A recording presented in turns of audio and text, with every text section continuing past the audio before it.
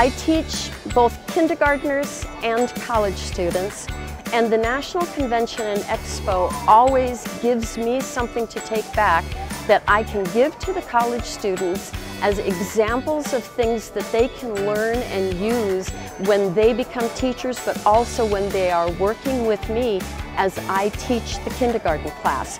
Because I can say, okay, this is something that I just brought back from the convention.